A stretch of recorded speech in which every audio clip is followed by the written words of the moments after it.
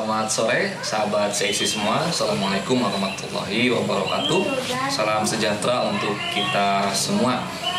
Kita kembali dalam program CIC Bincang Hangat bersama CIC Dan sudah hadir juga ya Kopi di tengah-tengah kita semua. Dan ini suasananya seperti konten yang sebelumnya Suasananya eh, relatif pedesaan ya dalam arti ada suara-suara natural dari mulai kokok ayam sampai eh, apa ya semacam eh, bisingnya apa ya angin dan seterusnya ya dari pohon-pohon yang menambah keasrian kita untuk membincangkan suatu topik tertentu. Nah pada kesempatan kali ini sahabat CIC kita akan coba eh, membahas terkait dengan eh, kota global. Nah, Ini menjadi topik yang penting untuk kita ketahui dan penting untuk kita eh, dalami. Yang pertama bahwa kota global ini konteks Indonesia adalah Jakarta. Ini menjadi isu yang sekurangnya di 2000 kemarin 2020-an itu yang ramai kembali dibahas bahwa Jakarta diharapkan memiliki ranking yang bagus dalam pemeringkatan kota global dunia.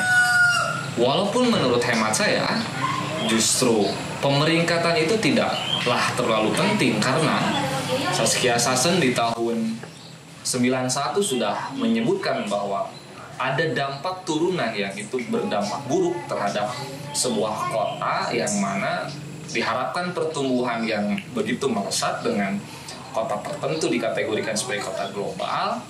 Ada faktor lain satu contohnya adalah berkembangnya eh, sektor informal di perkotaan yang kedua bagaimana konteks eh, imigran yang eh, masuk eh, apa ma- masuk ke dalam kota global di tengah-tengah kota yang dikategorikan sebagai kota global itu.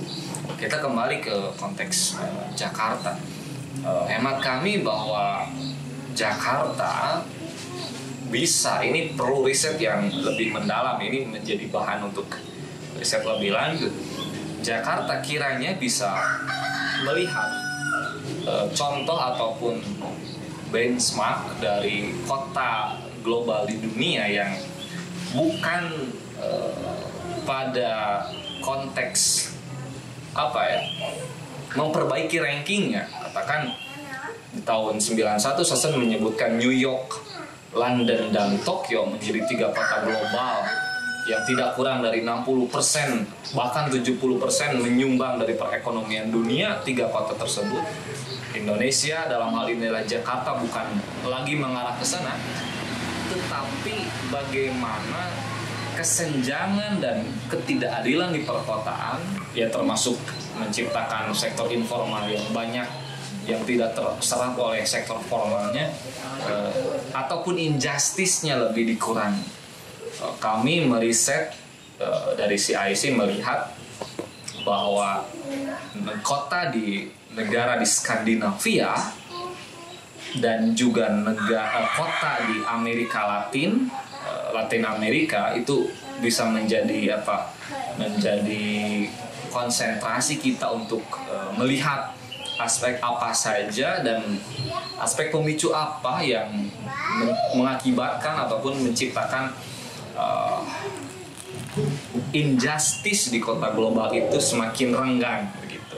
Kita bisa lihat misalkan eh, Copenhagen, eh, kemudian eh, Helsinki bahkan menjadi negara-negara di bagian Skandinavia yang perlu dilihat. Ini perlu diriset secara lebih mendalam. Terima kasih. Mari kita lanjutkan pembahasan berikutnya. Salam CIC.